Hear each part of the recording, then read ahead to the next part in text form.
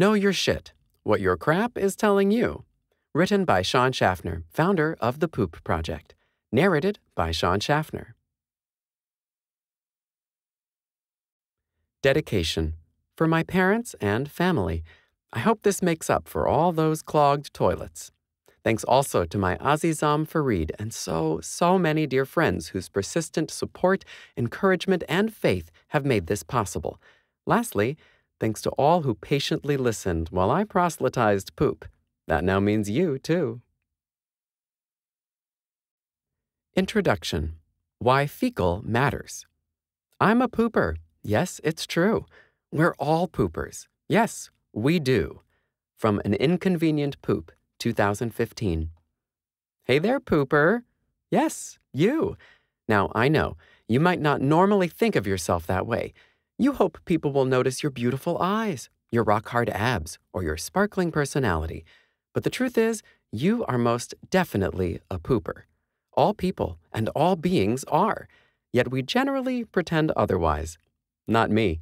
My name is Shawn Shafner, and I'm a proud pooper. Back in 2010, I created the People's Own Organic Power Project, or the Poop Project. Our mission is to foster a more loving relationship with our bodies, planet, and global community, starting from the bottom up.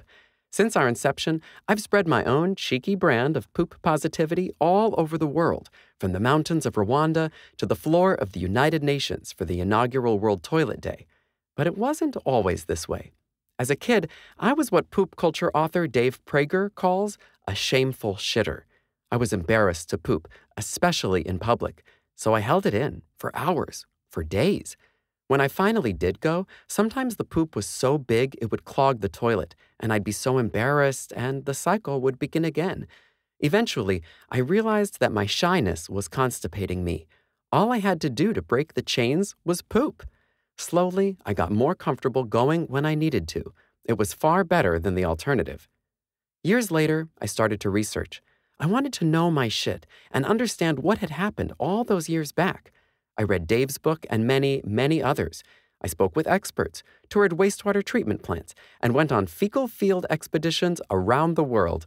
I saw how the shame I had expressed as a child was not really mine, but my society's. I also realized that this issue was way bigger than me.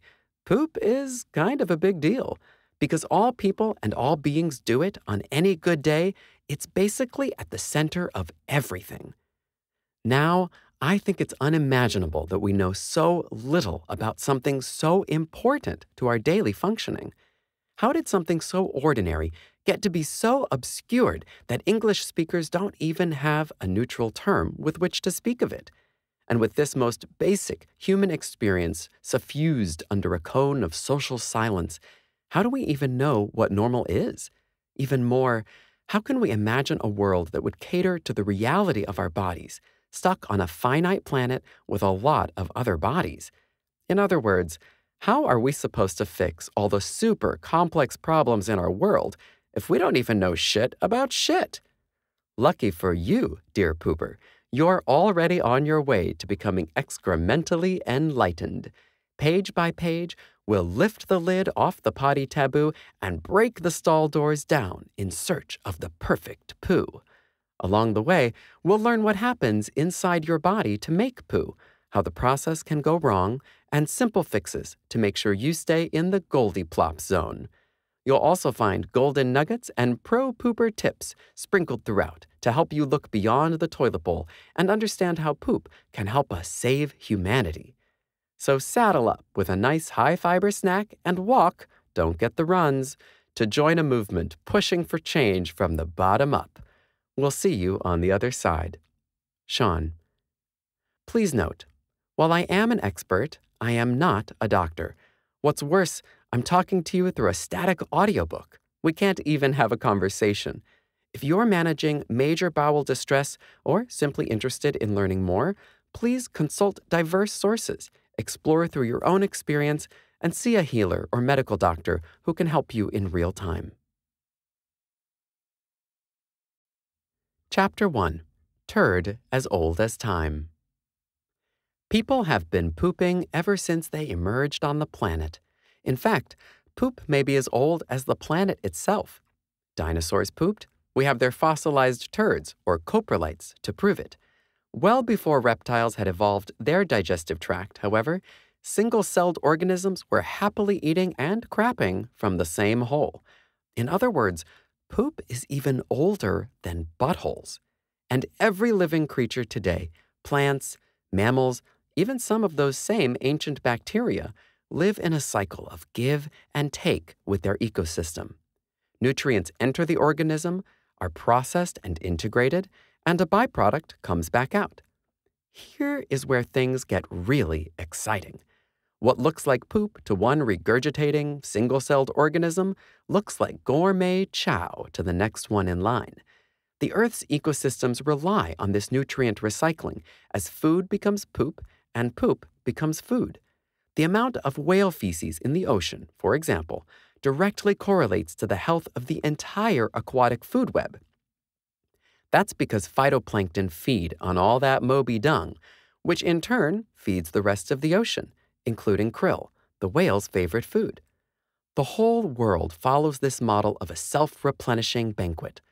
All of nature's creatures find their places, all of us connected in cycles of consumption and production.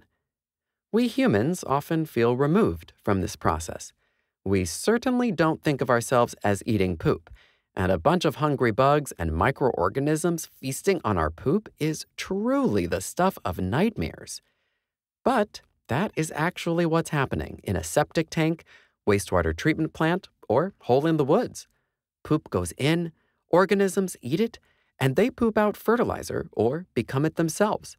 The same is true for animal dung, as insects and bacteria transform that shit into the black gold farmers call manure. Follow your food back to its origins, and there's always poop in there somewhere. In that way, it's kind of like magic like a virtuous human centipede filled with happy farm creatures. Golden Nugget Free Range Shitting. Life is a mystery, Madonna famously sang. Everyone must stand alone. That might be true, but you needn't stand, sit, or squat alone when it comes to pooping. Really.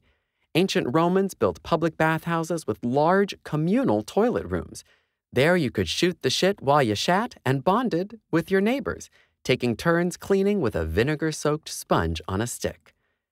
Many medieval elites pooped side by side in castle loos, called garderobes, because the smell of old pee was thought to deter moths from eating the fine clothes that were stored there. One might imagine the stink also deterred people from using it, but for much of human history, people accepted that piss and shit smelled like, well, piss and shit. That's not to say they liked it, but it wasn't a shameful private secret. Even George Washington shared a three holer with friends at Mount Vernon. You can still see and sometimes use multi seat outhouses in the United States, and the internet is littered with tourists traumatized from using open, trough style toilets still found in China today. Like a virgin, no more.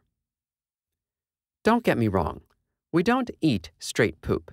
And if you do favor a spoonful every now and again, as the Protestant reformer Martin Luther was said to have done, please be careful. One's own poop is more or less innocuous to ingest, but bacteria from someone else's BM can make you very sick. Even a tiny amount from unwashed hands or from a fly that lands on a poop and then on your food can cause serious illness and discomfort. So please, don't eat poop. And if you've really got a hankering for coprophagy, the fancy word for eating crap, go for something that just tastes like shit. Say durian fruit or your mother in law's meatloaf. Despite these warnings, however, the fact is that we sort of eat poop all of the time. This might seem surprising because most food, like an apple or a steak, is definitely. We hope you enjoyed this preview. To continue listening to this audiobook on Google Play Books, use the link in the video description.